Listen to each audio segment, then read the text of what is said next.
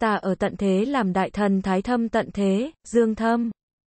Nghe chọn bộ tại mê truyện audio.com, bình hành thế giới, Lam Tinh.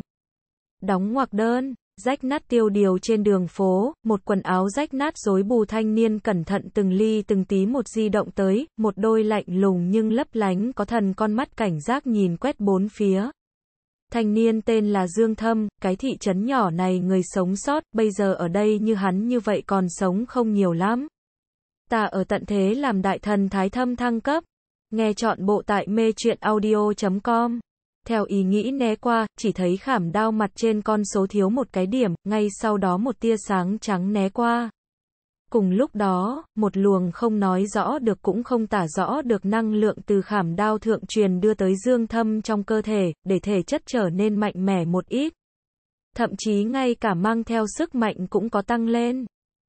Tuy rằng nâng lên rất có hạn, nhưng loại này trong nháy mắt nâng lên, là có thể đủ cảm giác được.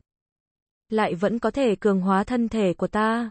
Dương thâm âm thầm kinh hỉ, lần này thể chất cùng lực lượng nâng lên, hầu như có thể quên, thế nhưng là để hắn thấy được hy vọng.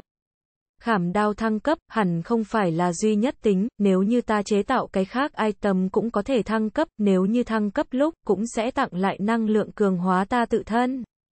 Ta ở tận thế làm đại thần thái thâm cương châm súng lục. Nghe chọn bộ tại mê truyện audio.com mà Dương Thâm bên này, hắn không có lập tức trở về đến nơi ở, hắn rời đi phòng bảo vệ chừng 20 thước sau, ngay ở một chỗ chỗ an toàn dừng lại, nhìn về phía loại nhỏ súng lục trên số liệu, dữ liệu. LV không? 5 phần 5, có thể thăng cấp, dĩ nhiên đã có 5 điểm, Dương Thâm suy đoán.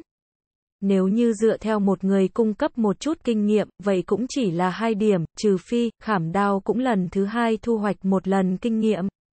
Chỉ có như vậy, thêm vào trước còn dư lại một chút kinh nghiệm, mới có 5 điểm. Nói cách khác, mặc dù là đồng nhất món item, thăng cấp sau khi, cũng có thể lần thứ hai từ cùng một người trên người thu hoạch kinh nghiệm. Đây là một rất tốt tin tức. Vừa vặn đủ súng lục thăng cấp.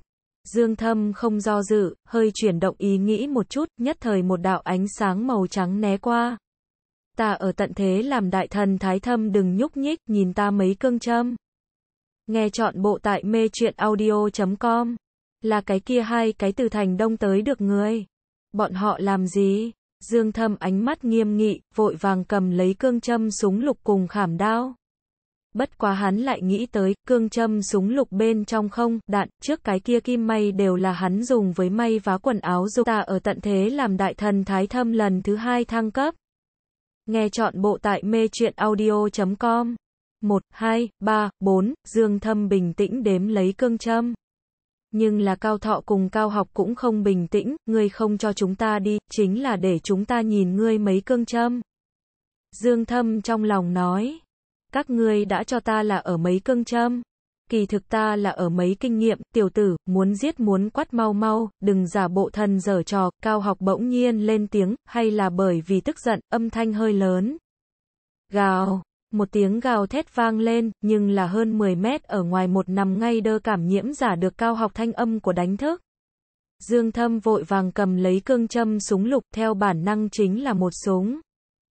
Xèo, phù, xuất kỳ chính xác, một thương này, cương châm càng là trực tiếp đi vào cái kia mới vừa bò lên cảm nhiễm giả sau não.